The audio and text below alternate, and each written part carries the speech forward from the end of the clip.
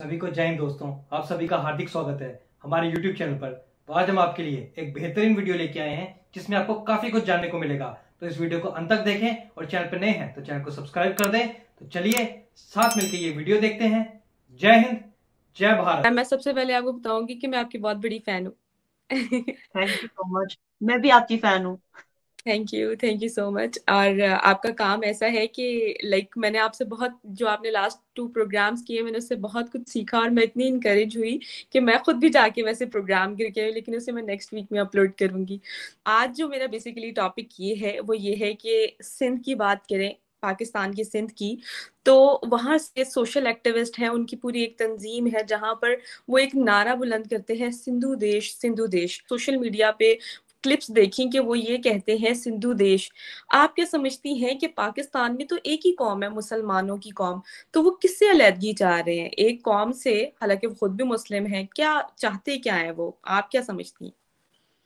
It's not about मुस्लिम आप ये बात नहीं समझोगे। पाकिस्तान की जो हुकूमत है, वो ये बात नहीं समझते।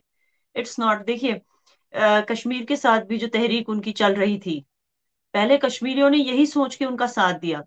कि हम मज़हब है, ये, वो। फिर बाद में आपने देखा होगा कश्मीरियों का झुकाव जो है भारत की तरफ़ होने लगा। क्यों? आज तो पूरी तरह से कश्मीर जो है वो नेशनलिस्ट इंडियन कश्मीरीज को ही आप देखेंगे। आप कहीं भी ऐसे किसी कश्मीरी को नहीं देखेंगे जो पाकिस्तान को सपोर्ट कर। ये चेंज क्यों आया?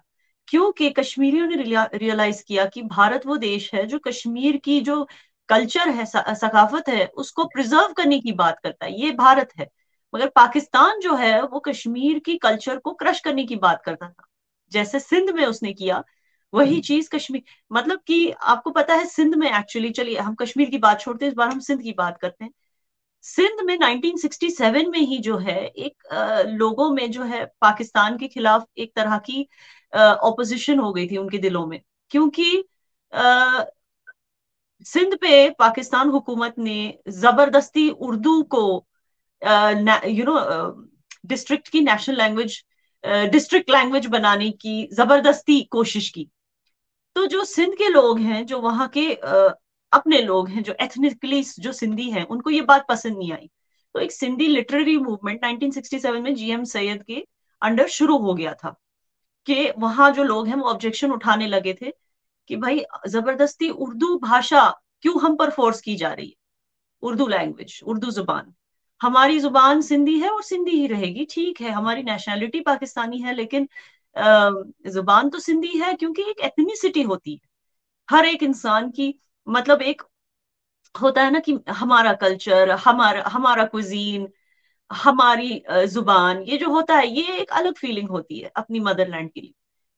तो अपने, अब इंडिया में जो है, इतने सारे स्टेट्स हैं, हर एक स्टेट से अलग अलग हर एक स्टेट में अलग अलग ज़ुबान बोली जाती है। इंडिया ने, भारत ने क्या किया? उस हर एक स्टेट को प्रिजर्व किया, उस हर एक कल्चर को, उस हर एक लैंग्वेज को, उस हर एक ज़ुबान को प्रिजर्व करके रखा है।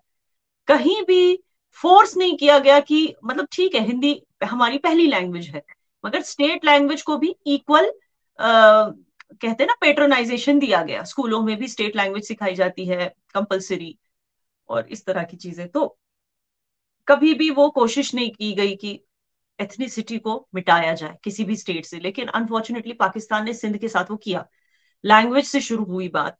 फिर उसके बाद जो है आ, हम आगे आगे और चीज़ों को कवर करेंगे। जैसे आपको पता होगा कि सिंध इंदस रिवर जो है वो सिंध को बिलोंग करती है। आ, नाला सिंध जिसको हम आ, इवन कश्मीर में भी उसका एक हिस्सा आता है। वो बिलोंग करती है। सिंध जो लैंड है उसको बिलोंग करती है। जिससे सबसे ज़्यादा एग्रीकल्चर जो है एग्रीकल्चरल प्रोड्यूस जो है सिंध का भी और इनफैक्ट सिंध जो है एग्रीकल्चरली पाकिस्तान को कुछ 27 परसेंट कॉन्ट्रीब्यूट करता है वो किसकी बदौलत? इसी सिंधु नदी के बदौलत। और इसी सिंधु नदी को जो है इसके पानी को सिंध में जाने से रोका जा रहा है। आ, कोई आ, मेरे ख्याल से दासू हाँ दासू हाइड्रो पावर प्रोजेक्ट कोई है? जिसको बनाने के लिए जो है सिंध से पानी को बंद करके, उसको डाइवर्ट करके दूसरे डिस्ट्रिक्ट्स में प्रोविंसेस में पाकिस्तान की सप्लाई किया जा रहा है। खास करके पंजाब में सप्लाई किया जा रहा है। ठीक है ना? तो इससे भी सिंधी लोगों को जो है ऑब्जेक्शन है। क्योंकि इससे वो कहते हैं कि हमारा तो इकोनॉमिक जेनोसाइड हो रहा है। अब इस रिवर के पानी को दासू प्रोजेक्ट के लिए डाइवर्ट करने के चक्कर में जो इन्होंने वाटर वेस्ट जो पुराने वाटर वेस्ट बंद कर दिए, उसकी वजह से जो फ्लड्स हुई पाकिस्तान में, वो तो पूरी दुनिया दे गवाह है उसकी, कि कितना उसकी वजह से कितना नुकसान हो गया जान जान माल को। तो ये कुछ चीज़ें हैं जो सिंधी लोगों के ऑब्जेक्शन है, और सबसे बड़ा ऑब्जेक्शन उनको ये है कि पाकिस्तान ज़बरदस्ती एक रेडिकल इस्लाम को सिंधी जो एक अगेन उनकी सकाफत का एक हिस्सा है सेक्युलरिज्म क्योंकि सबसे ज़्यादा हिंदू भी पाकिस्तान के आपको पता है सिंध में रहते हैं। एट परसेंट जो हिंदू हैं वो सारे सारे शायद सिंध में ही रहते हैं। वो क्यों? आ, एक लाख पच्चीस हज़ार सूफी सेंट्स सिंध में दफन है। वो क्यों? सूफिज्म जो है उसका आगा सूफिज्म क्या है? इस्लाम का सबसे सेक्युलर आप कह सकते हैं सबसे पीसफुल अगर कोई ब्रांच है तो वो सूफिज्म है। उसका आगाज़ कहाँ हुआ? सिंध में। अब रेडिकल इस्लाम को थोपने के चक्कर में जो है ये सारे जो सिंधी कल्चर्स हैं इनको दब, इनको दबाने की एक कोशिश की जा रही है। और सिंधी लोगों को इन सब चीज़ों से ऑब्जेक्शन है जिसकी वजह से और उन्होंने देखा कि उनकी ऑब्जेक्शन को कोई सीरियसली नहीं ले रहा हुकूमत में। ऊपर से जो डेमोग्राफिक चेंज उनके साथ किया गया। पंद्रह पंद्रह मिलियन मुहाजर्स को सिंध में सेटल कर दिया गया जो इंडिया से आए थे। अब इसकी वजह से क्या होता है? सिंध के I think Muhajirs makeup fifteen मतलब ऑलमोस्ट ट्वेंटी परसेंट जो उनका पॉपुलेशन है वो मुहाजिर है। दस परसेंट पंजाबी है सेवन परसेंट पश्तून है। तो इसकी वजह से सिंधी जो उनकी अपनी कौम है, वो खुद ही माइनॉरिटी बनते जा रहे हैं अपने लैंड में। इतना डेमोग्राफिक चेंज हुआ है वहाँ पे, जिसकी वजह से जब वो फ्रीडम स्ट्रगल की बात भी करते हैं, जब भी कोई सर्वे होता है, एक कोई रिसेंटली सर्वे हो रिसेंटली नहीं, कुछ दस साल पहले सर्वे भी किया गया, उसमें जो है, ऐसे निकल के आया कि फिफ्टी परसेंट से कम लोग जो है, सिंधु देश, एक अलग सिंधु देश मांग रहे हैं तो इस चीज़ को खारिज कर दिया गया। मतलब जो यूनाइटेड नेशंस और इन सब, ये सारी जो पावर्स हैं वर्ल्ड पावर्स जो ह्यूमन राइट्स की तरफ़ ध्यान देती हैं वो इस चीज़ पे ध्यान सिर्फ़ इसलिए नहीं दे रही क्योंकि दस साल पहले एक सर्वे हुआ था।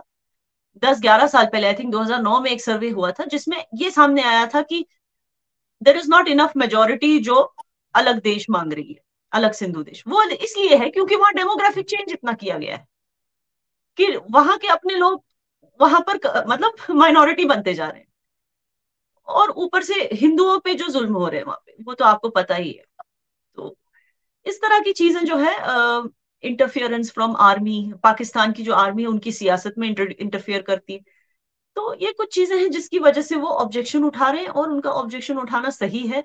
अगर वो चाहते हैं कि पाकिस्तान से अलग हो जाए, क्योंकि उनके मसाइल इतने हैं और वो इतने सालों से जो है, अनसुने हैं। कोई उनकी तरफ़ ध्यान नहीं दे रहा है। तो ज़ाहिर सी बात है, फिर वो मांगेंगे अलग देश। जी। मैम जैसे आपने कहा कि माइनॉरिटीज जो हालात है माइनॉरिटीज के हिंदू कम्युनिटी के ज़्यादा वो सिंध में रहती हैं तो जो एक्टिविस्ट इस तरह की तहरीक चला रहे हैं सिंधु देश की जिसमें शाहनवाज भुट्टो का जो इंटरव्यू आया उन्होंने कहा कि मतलब बहुत ज़्यादा ब्लेम किया पाकिस्तान को उसके साथ साथ उन्होंने कहा कि सिंधु देश चाहिए हमें अलग ही। तो मुझे ये नहीं समझ आ रहा कि इस आ, मतलब हिंदुओं के लिए क्यों नहीं आवाज़ उठाई जाती? लाइक क्या कहेंगी आप? एक अलग ही मतलब वो रियासत चाह रहे हैं। जो माइनॉरिटी है क्यों नहीं? हिंदुओं के लिए आवाज़ इसलिए नहीं उठाते क्योंकि उनको पता है कि एक बार हम पाकिस्तान एस्टेब्लिशमेंट मिलिट्री एस्टेब्लिशमेंट से अलग हो जाएँगे। जब पाकिस्तान का नैरेटिव हमारे स्टेट में खत्म हो जाएगा तो हिंदूज को जो है उनको भी उनके हक हुकूक मिलेंगे। हिंदूज भी महफूज रह पाएँगे क्योंकि रेडिकल इस्लाम थोपा नहीं जाएगा सिंध में। जो उनका सेक्युलर कल्चर है, वो थ्राइव करेगा। तो उन्हें पता है कि अलग होने से जो है, हिंदुओं की या किसी भी माइनॉरिटी की, वहाँ सिख्स भी रहते हैं बुद्धिस्ट भी रहते हैं, उन सब की जो है राइट्स का ध्यान रखा जाएगा, उन सब की जो हक है, उनको वो मिलेंगी। लेकिन एज लॉन्ग एज पाकिस्तान की गवर्नेंस उन पर है, वो हक उनको नहीं मिल सकते, क्योंकि पाकिस्तान अब आप देखिए, एक ही छोटा मैं एग्ज़ाम्पल दे पाकिस्तान की गवर्नमेंट ये कभी मतलब it is against Pakistani constitution के कोई भी नॉन मुस्लिम प्राइम मिनिस्टर बने। इट इज़ अगेंस्ट लेकिन सिंध उस तरह का नज़रिया नहीं रखता। सिंध के जो लोग हैं, उस तरह की नज़रिया नहीं रखते।